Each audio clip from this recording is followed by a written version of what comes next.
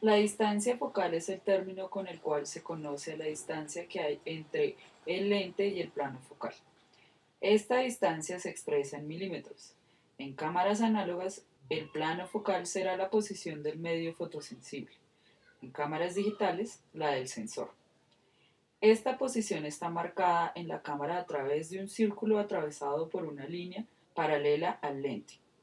La distancia focal determina, entre otras cosas, la porción visible de la escena a fotografiar.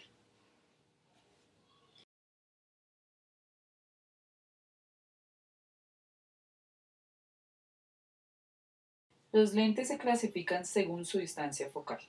Entre más corta, mayor es el ángulo de visión.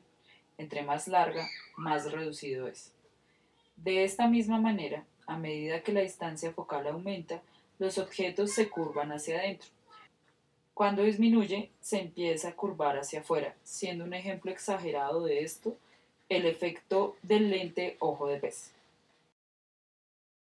Los llamados gran angulares están apartados del plano focal entre 18 a 34 milímetros. El ángulo de visión de estos lentes estarán entre 64 y 96 grados. Estos lentes se utilizan principalmente para hacer planos generales y fotografía de paisaje. Los lentes estándar tienen distancias focales entre 35 y 70 milímetros y ángulos de visión que varían entre 35 y 64 grados. Los lentes 50 milímetros son llamados normales, puesto que su ángulo de visión es de 46 grados, algo muy similar a la visión humana. Los teleobjetivos se apartan del plano focal por una distancia mayor a 70 milímetros. El ángulo de visión de estos lentes será menor a 35 grados. Estos lentes pueden verse normalmente en espectáculos deportivos y son utilizados para hacer retratos y fotoreportaje en general, ya que permiten hacer acercamientos a objetos lejanos. Sin embargo, de esta manera también se obtiene una porción pequeña de la escena.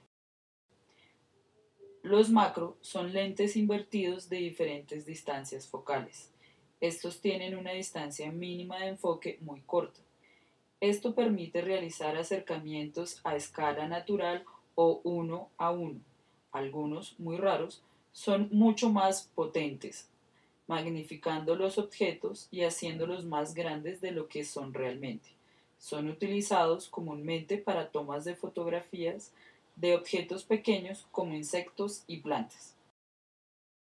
Los lentes tipo zoom tienen una distancia focal variable. Esto quiere decir que tiene un mecanismo que permite alejar al lente del plano focal.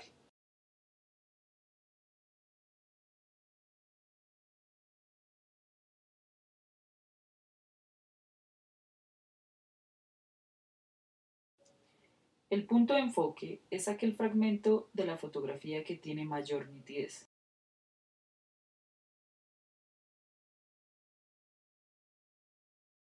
Este, para efectos compositivos, se vuelve un acento o centro de interés.